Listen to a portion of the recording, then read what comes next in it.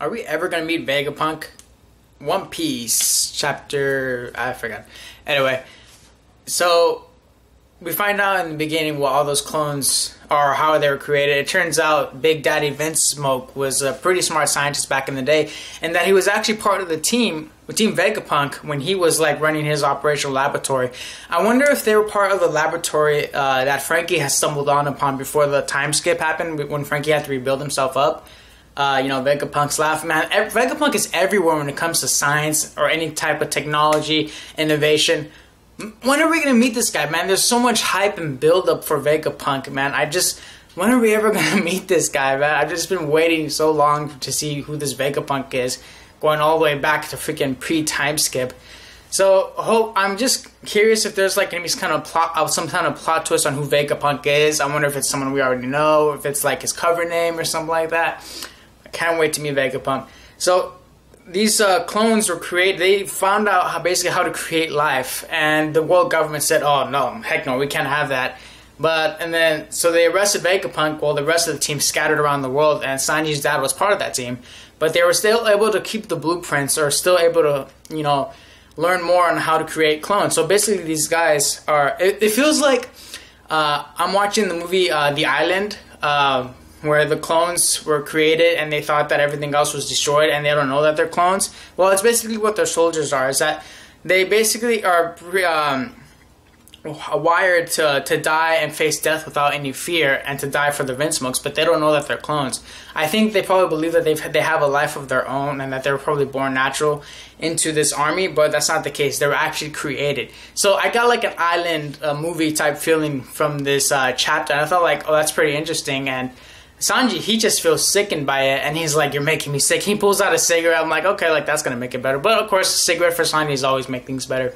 Uh, then you get Ichiji and Niji coming in, and uh, then Sanji goes and tries to kick his brother's ass because he uh, apparently he is the one that beat the shit out of Cosette, um, the cook, and they basically he beats up Sanji after he takes a kick. But I think Sanji was kind of holding him back, I guess, because he also he still threatened Zeff once more.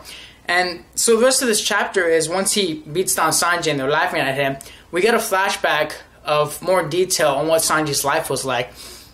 And initially, I, I thought that maybe all him and his brothers were also clones, but there were special clones specified to be taken apart from the dad. But that's not the case. So it turns out they were born naturally. You know, I was wondering, are they, are they clones themselves? Because the way he's talking down to them, it's as if like he created them through science and not through natural birth and they act that way too. They're like, "Oh yes, father," they'll follow his orders. So initially, Sanji was part of the regiment of being like a strong leader of this army, but he kept falling back and falling back. He was one of those slow starters, one of those late bloomers, and they just initially put him up as a failure. So the way they talk to him is if it's as if they were actual clones themselves. But then the father comes in, and once the father learns that he's become a failure, he tells him you have to work twice as hard or ten thousand times as hard more than your siblings are if you ever want to be a leader of this army and, and then he sees Sanji like feeding the rats, you know, and he gets like de- like pissed off with that. He's like, he tells Sanji, "Your mother has been long past. Stop trying to hold on to the past of the dead." So just off of that sentence, you could probably tell that Sanji is probably a lot like his mother.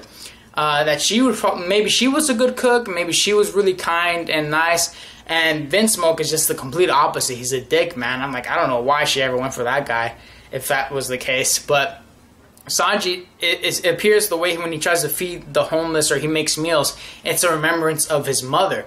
So we now need a flashback for his mom. We know mom was in the picture at some point and that she has passed away. Sanji and his and his siblings are not clones. They have a mom, and I really need a flashback for that. Like, does how much do they remember of their mom? It seems to me Sanji does remember a lot because if he's cooking to remember her, then that's got to be the case. Oh, another thing, I like Reiju a lot more after this chapter. So it turns out when they're laughing at him, and Reiju was laughing at him too, she only did it because she didn't want to get her ass kicked by her brothers. So in the in behind closed doors, she would actually patch up Sanji and tell him, "Hey, I only laugh at you because I don't want to get my ass kicked, but it's not that I want to laugh at you." And she's all patching him up, he's all crying. I'm like, "Oh." So it shows that Reiju actually does care for Sanji. And then flash forward, and they apparently the dad wants to get rid of Sanji completely. He wants to forget about him, so he locks him up with this freaking helmet thing. And I'm like, that is fucking torture, man. Fuck this guy, man. And Sanji is just crying. The fact of the matter is that even though Sanji has been yelled at, berated, basically abused by his dad is that he's still able to call out for help from his own father. It's as if he still believed that his father would act like a dad to him, even though he was crying to him and asking him, "Please forgive me, let me out." And then it just shows how much like how sense how much children like still look up to their parents even though they're like abusing them or being mean to them. They still deep down believe in their hearts that they'll be a father to them. Mm. And it's just like it's a sad moment for Sanji to for Sanji to to crowd to his dad that way. Uh, so I think uh, then the father tried to pass it off as if like Sanji had passed away, and the siblings are like, "Oh, not that I care. You know, did he really just die on us? Whatever. He was holding us back, holding us back." But you see Reiju, she doesn't say anything. She, she just stays there, and she has a blank face, and she has the sweat mark down right here. And I'm like, that shows that Reiju does care for Sanji. I would not be surprised if she was she's the one that actually helps let him out. Either that, or she probably knows the truth of where where Sanji is being kept. She probably she probably knows that Sanji isn't dead and that he's being tortured or held back in prison. And I'm almost certain she might be the one that helps him get out. She might be the one that lets him loose. But I don't think Sanji knows that maybe Reiju was the one that let him loose.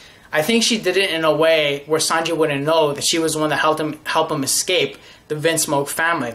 That's what I'm getting at because she looks like she's like really conflicted in this chapter. She looks sad, like she just has a straight face. She's got a sw- uh, sweat mark. She's got everything that shows that she still loves Sanji as a sibling, and that she was probably the only one that ever cared for Sanji. That might be since she's the oldest one. She probably has uh, more memory of their mom than anyone else, including including Sanji. Even though they're all tw- well, she she they're twins though, so she might have been the one most affected by her mom, and which is why she has a caring attitude.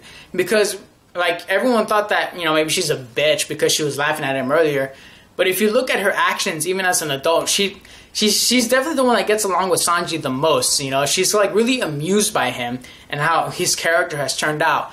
Maybe she, because she has pride in the fact that she was the one that let Sanji go, and she's like, "That was for the best. I think I did the best decision of letting Sanji go." That's my prediction for uh, Reiju and what she possibly did. Maybe I can be com- completely wrong, man. This chapter was pretty awesome, really sad, and you really get close to Sanji's character, and it just shows more of a exposure to what his life is. And we probably already knew knew that that was the case, but the fact that it's being shown to us, it's a really good uh, move by Oda to with an execution wise where it's show, don't tell, and I really loved about this chapter instead of it being like an information dump of them just talking about the past. So great chapter, 4.5 out of 5 stars. Hope you guys liked the review. Fans out.